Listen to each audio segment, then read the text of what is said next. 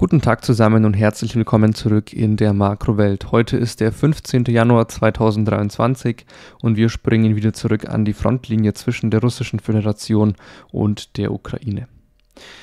Wir starten wieder im Süden an der Dnepr-Front. Hier gibt es laut russischen Meldungen in den letzten 24 Stunden eine heftige Explosion in der Stadt Kachowka vermutlich auch hier nach einem weiteren ukrainischen Artilleriebeschuss. Was hier genau explodiert ist, können wir aktuell noch nicht sagen. Das Ganze wird hier auch erstmal nicht weiter ausgeführt. In jedem Fall wurde hier eine Explosion gemeldet. Die Russen antworten hier auch weiter auf die Stadt Berislav, wobei hier die russische Artillerie in den vergangenen 24 Stunden nicht wirklich aktiv war. Anders sieht das Ganze natürlich weiter um Cherson aus. Hier beschießen die Russen auch weiterhin die Stadt, treffen auch hier weiter die Städte Antonievka, teilweise auch hier Chornobaivka, wobei von der ukrainischen Seite dann natürlich das Gegenartilleriefeuer in Richtung Oleschke, Kardaschinka und Holopristan erfolgt. Westlicher im Dnepr-Golf gab es heute keine Aktivität im Gewässer, allerdings beschossen die russischen Streitkräfte heute wohl das Dorf Dmitrivka hier direkt am Ufer des Dnepr-Golfs. Damit wäre es auch schon für diesen Bereich. Wir haben hier keine weiteren Veränderungen. Das gleiche gilt auch für die Halbinsel Krim. Auch hier werden erstmal keine Neuigkeiten gemeldet und wir springen in Richtung südliche Front in der Region Saporizhia. Hier ist heute die russische Artillerie auf der gesamten Linie sehr aktiv. Es werden weiter die Städte Kamenske, bis Orichow beschossen, vor allem die Region um Orichow und der Stützpunkt selbst und um Juliapole und der Stützpunkt selbst werden sehr intensiv von der russischen Artillerie getroffen. Auch hier in den letzten 24 Stunden äh, weiterhin Aktivität entlang der Linie Dorozhnjanka und Myrne. Es kommt hier weiter zu Stellungskämpfen in und um äh, diesen zwei Dörfern. Die äh, Situation hat sich nicht sonderlich verändert nach meinen Informationen, verbleibt damit beim gestrigen Status, nämlich dass die russischen Streitkräfte weiterhin das Dorf Dorozhnjanka kontrollieren und dass Myrne sich in der grauen Zone befindet. In jedem Fall bleibt hier äh, kommt es hier weiter zu Kämpfen und wir sehen hier auf beiden Seiten die Bemühungen, die Kontrolle über diese zwei Dörfer zu bekommen. Die ukrainische Seite antwortete hier natürlich ebenfalls auf frontnahe Positionen der russischen Streitkräfte, vor allem weiter Polochi, Ingenjerne im Fokus, teilweise dann auch hier Kobani, Robotyne. Aber insgesamt gab es keine neuen Meldungen, was größere Städte betrifft, zum Beispiel Melitopol, Berdjansk oder Tokmak. Damit geht es in Richtung Donetsk und hier starten wir wieder zwischen Velika Novosilka und Vuhledar, wo die russische Artillerie auch weiter aktiv ist. Es wurde hier die Stadt Velika Novosilka selbst intensiv von der russischen Artillerie beschossen. Gleichzeitig werden die Dörfer Solotanyva, Prochystivka und Vuhledar äh, von den Russen getroffen. Die Ukraine antworten hier weiter auf russische Positionen, vor allem Mykilske und Bablivka werden von der ukrainischen Artillerie intensiv getroffen, vermutlich auch hier von Wuchledar aus. Äh, es kommt hier zu lokalen Kämpfen in der Nähe des Kassler-Halsschlusses, den wir hier sehen. Aber es, äh, infolge dieser Kämpfe gibt es erstmal keine wesentlichen Veränderungen und aktuell führt auch hier keine der beiden Seiten irgendwelche wesentlichen Angriffsoperationen durch. Westlich von Donetsk greift die russische Streitkraft auch weiter in Marinka an und auch in Richtung Pobjeda gibt es Angriffe. Beide Angriffsrichtungen bleiben hier erstmal erfolglos. Ansonsten gab es wieder Kämpfe. Die Kämpfe haben sich wieder aktivisiert, um das Ganze genau auszudrücken, hier nördlich von Opytne. Die Russen konnten gegen Ende des letzten Jahres hier das Dorf einnehmen. Daraufhin gab es Kämpfe nördlich des Dorfes, auch in der Nähe des Fußballplatzes, der hier markiert ist. Äh, und dann in den letzten Wochen hat sich hier die Aktivität etwas reduziert gehabt. Jetzt gibt es hier wieder neue Kämpfe. Vermutlich versuchen die russischen Streitkräfte hier weiter in Richtung Avdiivka vorzurücken.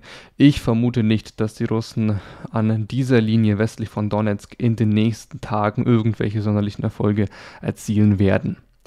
Die russische Artillerie ist aber auch hier weiter intensiv im Einsatz. Ich zähle jetzt einfach mal kurz die Städte, auf die getroffen werden. Novomikhailovka, Konstantinovka, Marinka, Pobeda, Georgievka hier zu sehen, dann Krasnohorovka, Nevelske, Pervomayske, Netailove und dann natürlich auch weiter Wodjane und Avdiivka. Die Ukrainer beschießen hier ihrerseits die Stadt Donetsk, die Stadt Makivka, dann auch hier weiter die Positionen in Jasenovata und Jakovlivka und zum Abschluss natürlich auch die Großstadt Horlivka. So viel dann zu diesem Abschnitt. Jetzt bewegen wir uns weiter in Richtung Norden, starten hier nordwestlich von Horlivka in der Region um Majorsk. Hier gibt es weitere Aktivität von der russischen Seite in Richtung Pivichne und Druzhba. Wie schon in den letzten Tagen häufiger erwähnt, haben die russischen Streitkräfte hier in den letzten Tagen ihre Streitkraft aktiviert, was diese Richtung betrifft. Und es kommt hier häufiger zu Angriffen und so gab es auch in den letzten 24 Stunden Angriffsversuche, die von den Ukrainern mehr oder weniger zurückgeschlagen wurden. In jedem Fall hat sich hier die Intensität der Kämpfe deutlich erhöht. Nördlicher gibt es dann weiterhin Versuche in Richtung Diljivka anzugreifen, die aber auch hier erstmal erfolglos bleiben. Die aktuellen Bemühungen, und zwar die äh, ja, größten Bemühungen, setzen die Russen aktuell hier südlich von Bachmut in Richtung Klischivka und in Richtung Ivanivska. Hier gab es auch in den letzten 24 Stunden weiter intensive Kämpfe entlang des Siversky Donetsk-Donbass-Kanals, wo die Russen weiter versuchen, entlang dieses Kanals vorzurücken, um diese Erhöhung westlich von Klischivka zu umgehen und möglicherweise Klischivka damit in einen Halbkessel zu bekommen. Das Ganze gelingt hier aktuell noch nicht. Die Russen hatten diese Woche, um das Ganze nochmal kurz zu erwähnen, hier gerade in dem Bereich einen kleinen Durchbruch, konnten hier zwei bis drei ukrainische Stellungen einnehmen. Aber inzwischen haben die Ukrainer hier die Frontlinie etwas stabilisiert. Die Russen versuchen weiter auch südlich von Klischivka in das Dorf einzudringen. Das Ganze gelingt auch hier erstmal nicht und nördlich und östlicher gibt es auch weiter Kämpfe. Hier auch nicht ganz korrekt eingezeichnet. Die Frontlinie, die russischen Positionen befinden sich aktuell hier in der Nähe des Bahnhofs. Hier sehen wir die Eisenbahnlinie und in diese Richtung wird ebenfalls angegriffen, wobei die Russen auch hier erstmal keinen wesentlichen Erfolg erzielen können. Die ukrainische Seite berichtet vor Ort, dass man wegen des zunehmenden Drucks von der russischen äh, Streitkraft in Richtung Klischivka Verstärkung verlegt, gerade von den Abschnitten nördlicher zum Beispiel von Bachmut oder möglicherweise Einheiten, die vorher in Soledar beteiligt waren.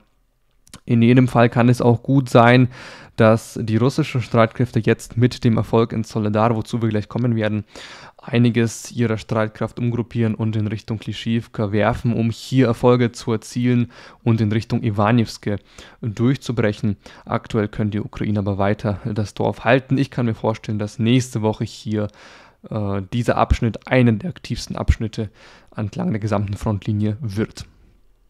So viel dazu. Wir gehen in Richtung Opetne. Hier gibt es weiter Kämpfe im nördlichen Abschnitt des Dorfes. Allerdings kam es hier erstmal zu keinen Veränderungen. Anders sieht das Ganze um Bachmut aus. Hier zunächst einmal, wie von ukrainischer Seite berichtet wird, gibt es westlich, nordwestlich der Müllhalde, die hier grau markiert ist, Angriffe von der russischen Seite in Richtung des bewohnten äh, Teils, in Richtung des südöstlichen Bezirks von Bachmut.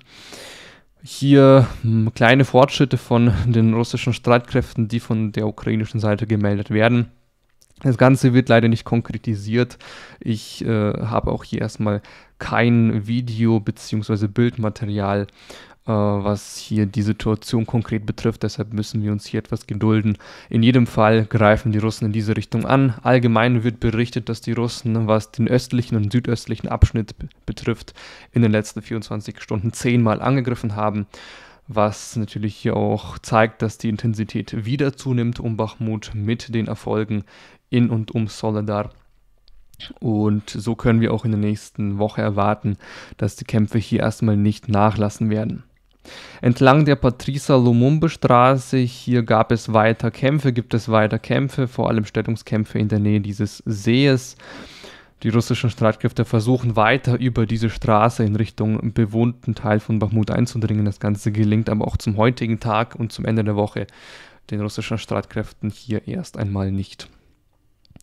Nördlicher konnten die Russen allerdings Erfolge erzielen und zwar sprechen wir hier jetzt um den nordöstlichen Teil von Bachmut, hier vor allem über die T1302 Straße. Äh, hier gab es stärkere Angriffe in den letzten Tagen. Dieses Gebiet wird auch der Bachmutwald genannt, weil wir hier eben ein bewaldetes Gebiet haben. und die ukrainische Seite meldet ein stärkeres Vorrücken, ein stärkeres, äh, ein, ja, ein stärkeres Vorgehen, Entschuldigung, in Richtung des nordöstlichen Teils von Bachmut. Gerade im Bachmut-Wald konnten die russischen Streitkräfte wohl vorrücken. Das ist hier dieser Teil, auch wenn man das Ganze hier nicht gut sieht. Vielleicht ein bisschen rauszoomen. Ja, genau hier. Dieser grüne Bereich, gerade in diesem Teil konnten die russischen Streitkräfte wohl vorrücken. Einige hundert Meter und inzwischen wird berichtet, dass hier im bewohnten Teil auch schon die ersten Straßenkämpfe stattfinden, dass die ukrainischen Streitkräfte hier aktuell entlang der ersten äh, Straßen Widerstand leisten. Insgesamt hat damit auch ähm, der nordöstliche Abschnitt, haben damit die Kämpfe auch den nordöstlichen äh, Abschnitt von Bachmut erreicht und auch in den nächsten Wochen wird das vermutlich ein Bereich sein, über den wir reden werden müssen. Nördlicher gibt es weiterhin Kämpfe in Pitrorodne. Hier können wir aktuell noch nicht genau sagen, wie die Situation zwischen dieser schwarzen Linie und dem Bachmutka-Fluss genau ist. Es wird berichtet, dass noch weiter de facto in Pitrorodne gekämpft wird, vermutlich auch hier in den letzten Straßen. Äh, wie gesagt, hier liegen mir keine konkreten Informationen vor, deshalb müssen wir hier erstmal abwarten. Ich vermute, dass die russischen Streitkräfte hier jetzt auch mit dem endgültigen Erfolg in Pitrorodne versuchen werden, gerade auch was das Vorrücken nordöstlich betrifft, in Richtung Jachitne vorzurücken, hier über den Bachmutka-Fluss, äh, also den Fluss zu überqueren und damit dann in Richtung dieses Dorfes anzugreifen. Das wäre hier vermutlich der ähm, nächste Schritt von der russischen Seite. Wie gesagt, auch hier nur eine Vermutung, genau kann ich es natürlich nicht sagen. Äh, in jedem Fall bemühen sich die Russen aktuell hier den Fluss zu erreichen. Nördlicher gibt es weitere Angriffe in Richtung Paraskowjewka. Der ukrainische Generalstab berichtet hier auch von Kämpfen um Paraskowjewka. Ob die Russen hier inzwischen den Fluss überqueren konnten, kann ich nicht sagen. In jedem Fall wird das vermutlich eine der Absichten der russischen Streitkräfte sein. Zuvor aber bemühen sich die Russen um das Dorf Krasnahora, welches aktuell vom Norden, vom Süden und vom Osten angegriffen wird und wo die Russen den Ukrainern einige Probleme bereiten. In jedem Fall stelle ich hier, was das Dorf betrifft, auch keine großen Aussichten für die ukrainische Verteidigung und kann mir vorstellen, dass das Dorf nächste Woche auch schon fallen wird. Was Soledar betrifft, so wurde heute Nachmittag in ukrainischen Medien bzw. von einzelnen ukrainischen Quellen berichtet, dass Soledar wohl vollständig gefallen ist, dass die Ukraine sich vollständig aus der Stadt zurückgezogen haben. Die letzten Tage hatten wir hier über diesen nordwestlichen Abschnitt gesprochen, den die Ukraine auch noch weiter gehalten haben, wo es auch weiter Kämpfe gab.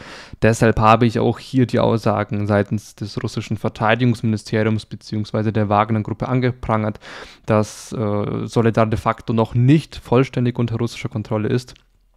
Und jetzt gibt es hier, wie gesagt, die Informationen, dass die Ukraine begonnen haben, hier den Teil, den letzten Teil von Soledar zu verlassen, um neue Stellungen auf der Westseite des Bachmutka-Flusses einzunehmen.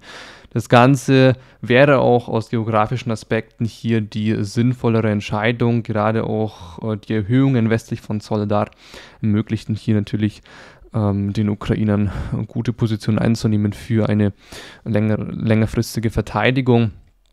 Es wurde heute sehr intensiv gekämpft in diesem Abschnitt.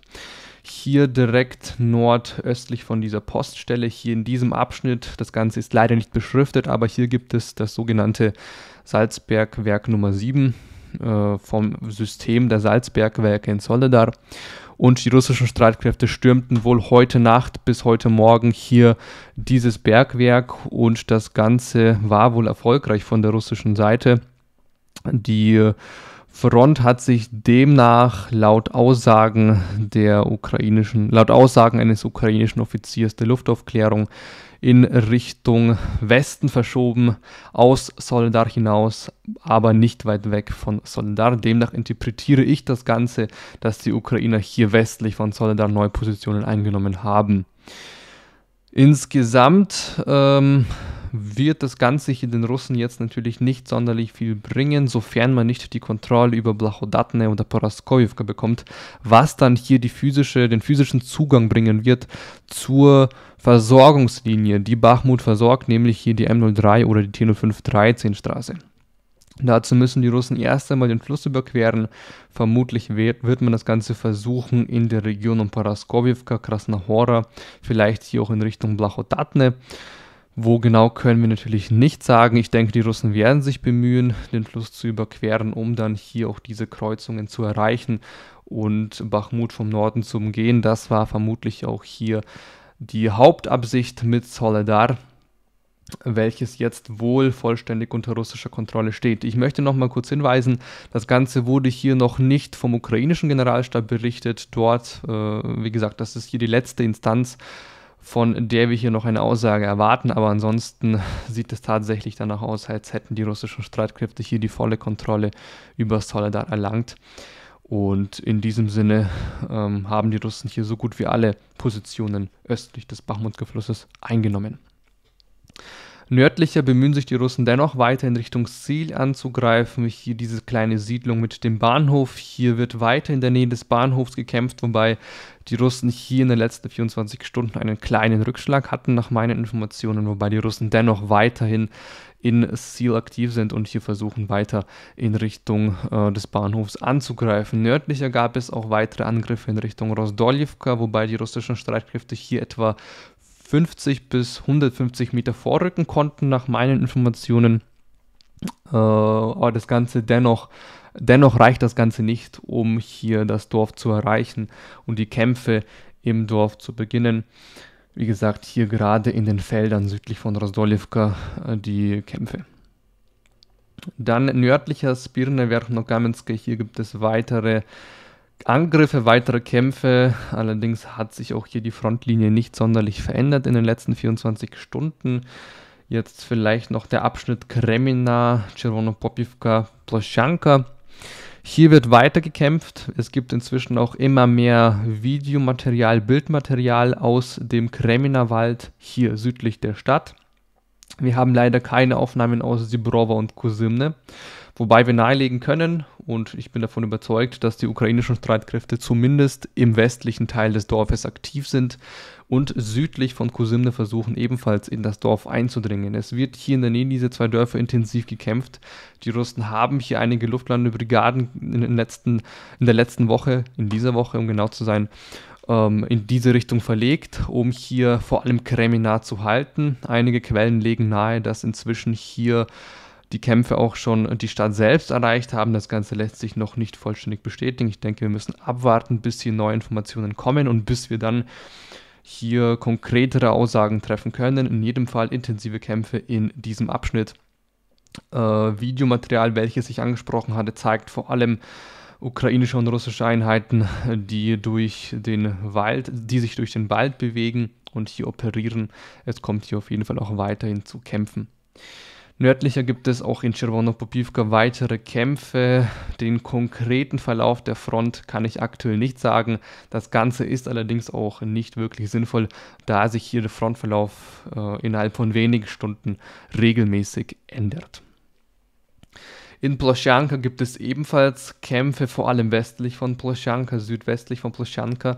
Hier greifen auch beide Seiten abwechselnd an. Mal können die eine Seite einige Stellungen einnehmen, mal die andere Seite. In jedem Fall befindet sich Bloschanka aktuell zum größten Teil unter russischer Kontrolle, teilweise vielleicht in der grauen Zone, um hier genauer zu sein. Aber insgesamt hat sich auch diese Woche hier und in den letzten 24 Stunden nicht sonderlich viel verändert. Die Artillerie der Russen beschießt aktuell vor allem Terne, Nevske, Makiivka. Die Ukrainer konzentrieren sich vor allem auf Rubizhne, Kremina und Czerwonopopivka. Zum Abschluss nördlicher hier auch erstmal keine wesentlichen Veränderungen in den letzten 24 Stunden und auch in der letzten Woche. Es kommt weiter vereinzelt zu Kämpfen in der Nähe von Novoselivske, Kuzymovka, in der Nähe von Stelmachivka, wo die russischen Streitkräfte regelmäßig versuchen, in Richtung des Dorfes anzugreifen. Ich bin auch überzeugt, dass die Frontlinie, die wir hier aktuell sehen, inzwischen nicht mehr der exakten Situation entspricht. Aber leider haben wir noch keine konkreten Updates und können hier erstmal noch keine Veränderungen melden.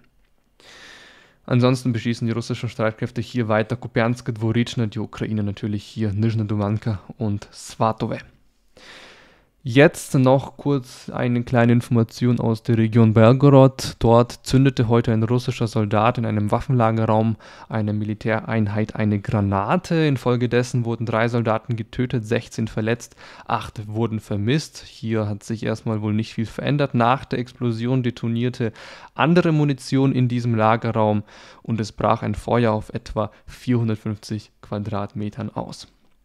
Dann zum Abschluss möchte ich heute die Veränderungen der letzten sieben Tage zeigen. Ich hatte in den letzten Tagen, Wochen häufiger die Meldungen erhalten, beziehungsweise den Hinweis erhalten, dass ich doch die Veränderungen zeigen soll, die wir hier haben. Und diese Veränderungen werde ich jetzt auch zeigen, vor allem aber natürlich an dem Abschnitt, wo sich was verändert hat. Und das wäre der Abschnitt Bachmut. Ich lasse das Ganze einmal kurz durchlaufen. Wir sehen auf der gesamten Frontlinie ein Vorrücken von der russischen Seite, vor allem aber im Norden bei Soledar und letztlich auch kleine Erfolge hier nördlich, südlich von Bachmut. Insgesamt hier, wie gesagt, der aktuelle Frontverlauf. Ansonsten andere Bereiche werde ich erstmal nicht zeigen können. Vielleicht lohnt es sich noch einmal kurz in Richtung Kremina zu schauen. Auch hier, das sind lediglich die Aussagen der Deep State Map. Heißt natürlich nicht, dass äh, die Situation tatsächlich der Wahrheit entspricht. Hier auch nicht sonderlich viel verändert. Wir, wir sehen, dass die Ukrainer kleine Positionen einnehmen konnten. Hier dann in grün markiert. Aber ansonsten verbleibt es hier weiter bei Kämpfen um Dubrovka, Kusumne und Kremina. In diesem Sinne bedanke ich mich fürs Zuhören. Wenn dir das Video gefallen hat, würde ich mich wie immer über einen Daumen nach oben freuen. Gerne auch einen Like, äh, gerne auch ein Abo auf dem Kanal da lassen. Und dann möchte ich mich noch zum Abschluss der Woche bei den zahlreichen Spenden bedanken, die ich auch diese Woche erhalten habe. Äh, das Ganze unterstützt natürlich hier meinen Kanal, meine tägliche freie Arbeit für euch und motiviert mich täglich hier neue Videos zu erstellen. In diesem Sinne nochmal ein großes Dankeschön an jeden, der mir hier auch in Form von äh, Geld äh, meinen Kanal unterstützt. In diesem Sinne wünsche ich dann einen wunderschönen Abend und bis morgen.